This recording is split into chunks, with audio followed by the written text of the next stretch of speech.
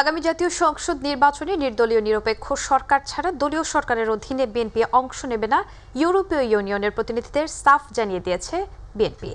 এদিকে পঞ্চগড়ে আহমদিয়া সম্প্রদায়ের উপর হামলার ঘটনায় বিএনপির নেতাকর্মীদের গণ গণগ্রেপ্তার করা হচ্ছে বলে অভিযোগ করেন বিএনপি মহাসচিব মির্জা ফখরুল ইসলাম আলমগীর।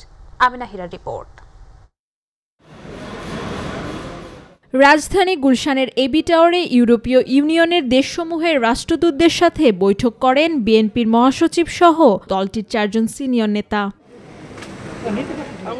বৈঠক শেষে সাংবাদিকদের সাথে কথা বলেন বিএনপির স্থায়ী কমিটির সদস্য আমির খসরু মাহমুদ চৌধুরী। ইউরোপীয় ইউনিয়নের রাষ্ট্রদূতদের কাছে আগামী নির্বাচনে অংশ নেয়ার ব্যাপারে বিএনপির অবস্থান তুলে ধরার কথা জানান তিনি। এই সরকারের অধীনে বিএনপি নির্বাচনে যাবে না, যেটা যেভাবে আমরা খোলাখুলিভাবে বলছি বিশ্বের যারা বাংলাদেশকে নিয়ে কাজ করছে পর্যবেক্ষণ করছে সবার কাছে এটা পরিষ্কার করা হয়েছে। পরে পঞ্চগড়ে আহমদিয়া সম্প্রদায়ের উপর হামলার ঘটনায় রাজধানীর গুলশানে বিএনপির চেয়ারপারসনের রাজনৈতিক কার্যালয়ে সংবাদ সম্মেলন করে বিএনপির মহাসচিব মির্জা ফখরুল ইসলাম আলমগীর। এ সময় তিনি অভিযোগ করেন বিএনপির আন্দোলন ভিন্ন দিকে নিতে এখন নেতাকর্মীদের গণগ্রেপ্তার করা হচ্ছে।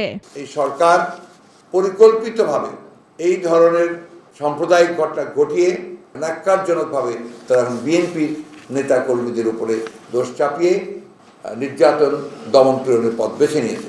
গণতন্ত্রহীনতা ও জবাবদিহিতা নেই বলেই এমন ঘটনা ঘটছে বলে জানান মির্জা ফখরুল ইসলাম আলমগীর।